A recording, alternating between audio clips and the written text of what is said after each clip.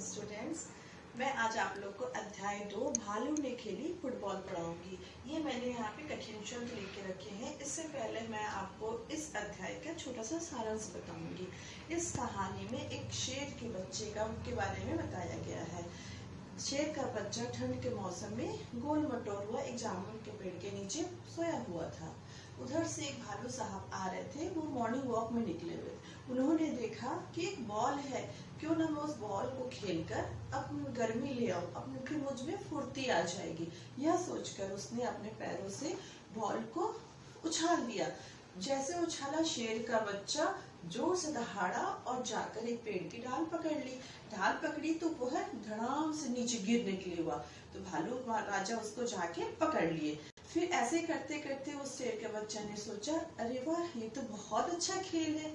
ऐसे करते करते अंत में भालू थक गया, बहुत पछताया। अरे, मैं ये क्या कर रहा हूँ? मैं तो बहुत थक गया हूँ। तभी उस बाग का जिस पेड़, जिस बाग में वो डाली पेड़ लगा हुआ था, उस बाग का माली आ गया। माली आके बहुत ज़ोर से गुस्सा किया। उस शेर के बच्चे को बोला, लाओ हर जाना दो इस डाल का। तुमने तोड़ा है इस डाल को हर जाना दो। तब शेर का बच्चा डर गया और वहाँ से नौ दो ग्यारह हो गया। चलिए, अब हम इसका कठिन शब्द पढ़ते हैं। मतलब समय, कोहरा, ओस या धुंध भी कहते हैं इसे हम।